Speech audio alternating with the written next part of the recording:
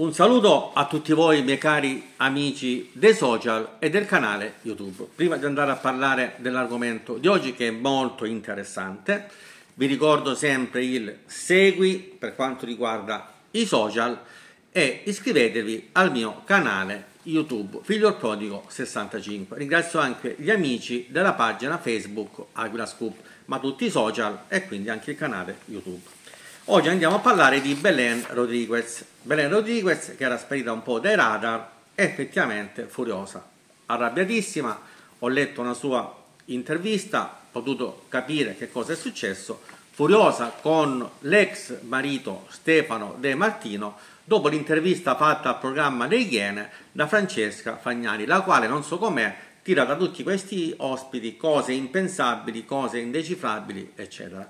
Compagna di Mimmo Mentana, direttore del telegiornale di La 7 di sinistra. Eh, e questo lavora in RAI di, di sinistra.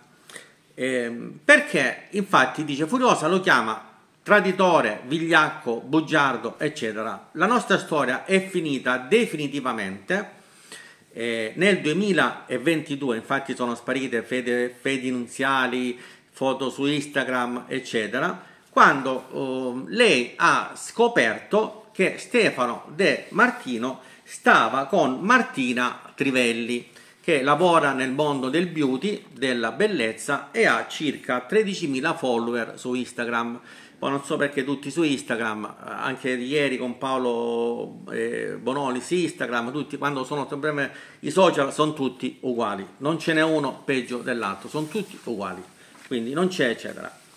Ehm, diciamo che partiamo intanto dal presupposto di dire che Belen Rodriguez ha un patrimonio immenso di quasi 2 milioni di euro per tutto quello che ha fatto in questi 15 anni già di carriera, ne ha 39 e quindi da quando era giovane ha fatto sempre soldi, soprattutto nei programmi Le Iene, Tusi che Vales, eccetera, prendeva 25.000, 30.000 euro a puntata e poi i calendari che ha fatto, i tre calendari, tre, non uno, tre che ha venduto quasi 5 milioni di copie, come se noi italiani fossimo un mondo di arra- arrapati, proprio abbiamo fatto schifo a comprare tanti calendari, io non lo so, sicuramente può comprare anche qualche donna, però comprare 5 milioni di calendari di Belen Rodriguez significa essere fuori di testa. Ne ha fatti due nel 2006, uno con VM e uno con Denardi, e poi quello pazzesco del 2008, dove era completamente, lasciamo stare, e Maxim. Fatto qualche film, qualche comparsa a Montalbano, a Cinepanettoni con Cristian Esica e Massimo Chini. E, vale dire, ha fatto tanto. E, si è sposata nel 2015, nel 2000, eh, scusatemi, nel 2013, nel 2013 con Stefano De Martino, dopo che Stefano De Martino stava con Emma Marrone dal 2009 al 2012, si sono conosciuti nel 2012, faceva Stefano De Martino le corna a Emma Marrone, sono conosciuti ad amici nel talent, in cui Belen era in giuria.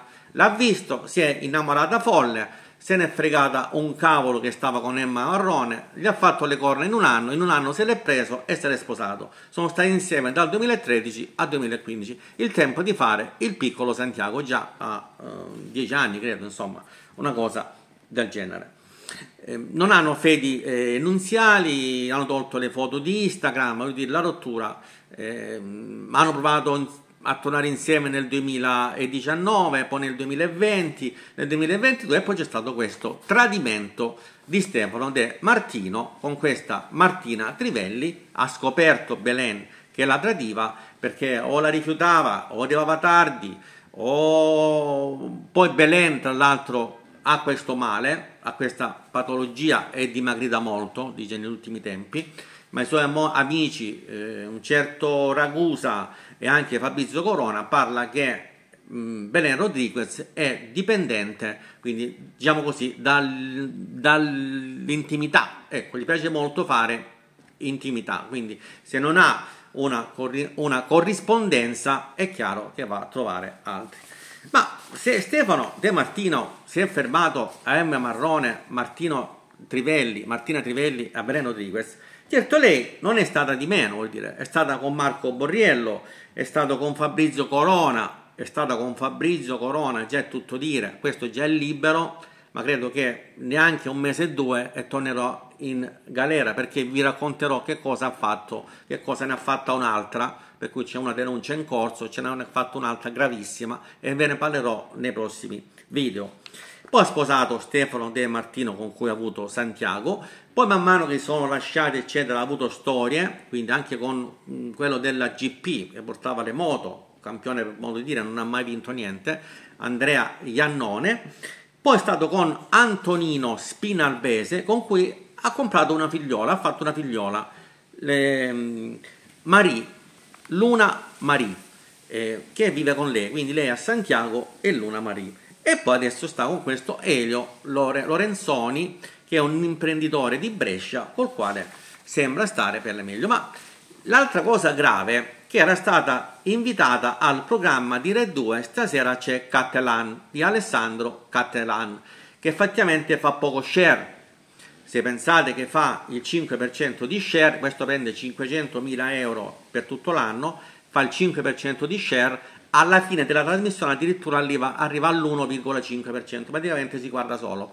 Ci saranno qualche 100.000, 200.000 telespettatori che guardano il programma. Quindi soldi, d'altronde alla RAI i soldi li ridiamo noi con i canoni, quindi con il canone, quindi fa quello che vuole e quindi ci mette tutte le porcherie possibili. È un programma. Non si è presentata al programma di Alessandro Cattelan, doveva prendere tra l'altro Belen 20.000 euro per questa intervista e Alessandro Cattelan durante tutto il programma ha, ins- ha insistito a prenderla in giro, anche se c'erano gli altri ospiti, continuava a prenderla in giro, fin quando sono intervenuti a difesa di eh, Belen Rodriguez, manco a dirlo, oltre che lei ha fatto queste dichiarazioni forti chiamando bugiardo, vigliacco, traditore se- eh, seriale, ne ha dette di tutti i colori a Stefano De Martino, ma a difesa di Belen Rodriguez sono inter- interessati sono intervenuti. Questo Alessandro Ragusa che si occupa di gossip, io non l'ho mai sentito in vita mia, quindi 30 anni che faccio il giornalista non l'ho mai sentito, e Fabrizio Corona ha detto lasciate in pace Belen perché non sta bene, sta lottando contro questo suo male oscuro che la tormenta da tanti anni. Che cosa sarà questo male oscuro di Belen Rodriguez? Molti pensano, molti pensano che la patologia della ninfomania non sia curabile, o almeno non sia limitabile, se possiamo dire così.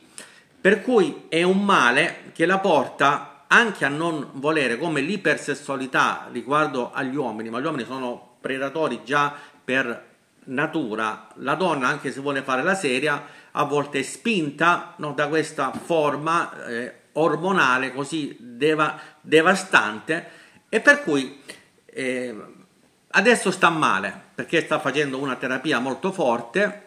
Mm, si parla di questo, ma anche si parla di, un, di un'infezione, si parla di Covid, si parla di tanto, voglio dire, però sta il fatto che è stata immortalata su Instagram il giorno prima di andare da Cattelan che stava eh, in villa con drink e dei sigari quindi è stata presa, è stata preso, veramente Catalan, è stato preso in giro, è stato preso per così dire per il culo.